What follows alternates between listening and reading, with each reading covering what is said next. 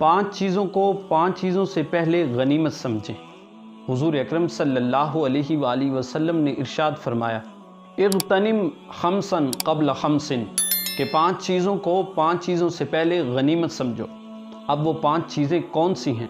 नाजरीन मोहतरम, सबसे पहली चीज़, सरवर कायनात सल्लल्लाहु अलैहि वसल्लम ने फरमाया, शबाबा का कबल हारमी का बुढ़ापे से पहले जवानी को गनीमत समझो।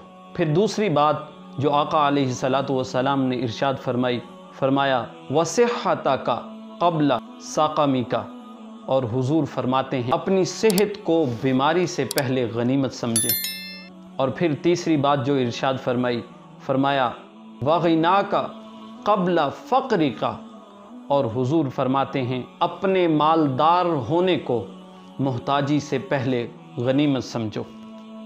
फिर चौथी बात जो सरवर कायनात सल्लल्लाहु अलैहि वसल्लम ने इरशाद फरमाई, व फरागा का कबला शुगल का और हुजूर फरमाते हैं, अपनी फरागत को मशगूलियत से पहले गनीमत समझो। और फिर जो पाँचवीं और आखिरी चीज़ जो सरवर कायनात सल्लल्लाहु अलैहि वसल्लम ने इरशाद फरमाई, फरमाया, व हयात का कबल मौती का और हुजूर फरमाते हैं कि, अपनी ज़िंदगी को मौत से पहले गनीमत समझो।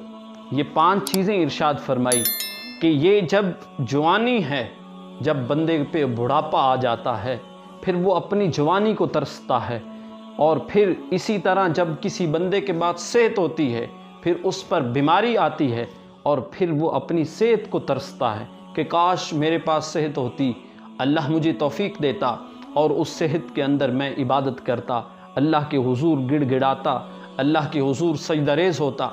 रातों को उठ कर क्याम करता।